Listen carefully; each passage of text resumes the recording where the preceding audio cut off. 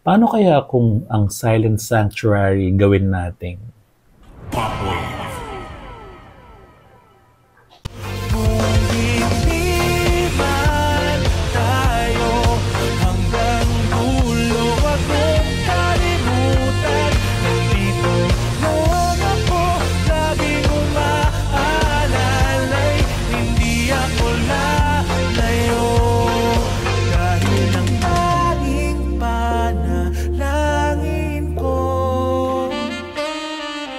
ay ikaw.